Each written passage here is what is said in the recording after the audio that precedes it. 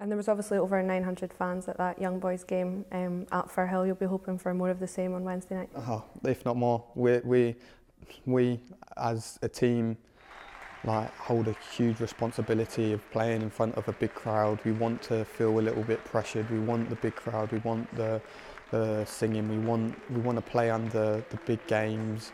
Want to be involved in them. So the fans just encourage you more and more. Yeah, and it's obviously at home the first leg um, this time. How key is it to maybe get a result with the, the second leg over there?